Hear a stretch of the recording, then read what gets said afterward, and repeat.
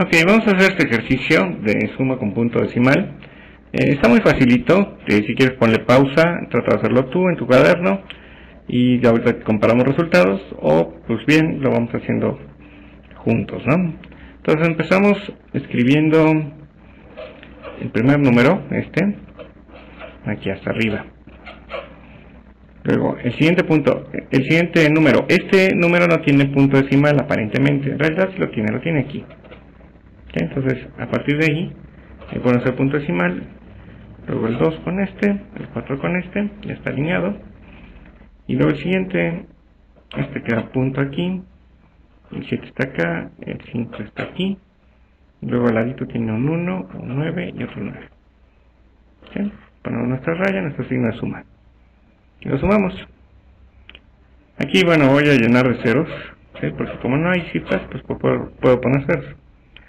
3 más 0 me da 3, más 9 me da 12. 2 y llevo 1. 1 más 0, 1. Más 0, 1. Más 9, 10. Llevo 1. 1 más 0, 1. Más 0, 1. Más 1, 2. Bajo el punto decimal. 0 más 2, 2. Más 7, 9. 4 más 5, 9. ¿Sí? Y ese es el resultado. Hacemos la comprobación rápidamente.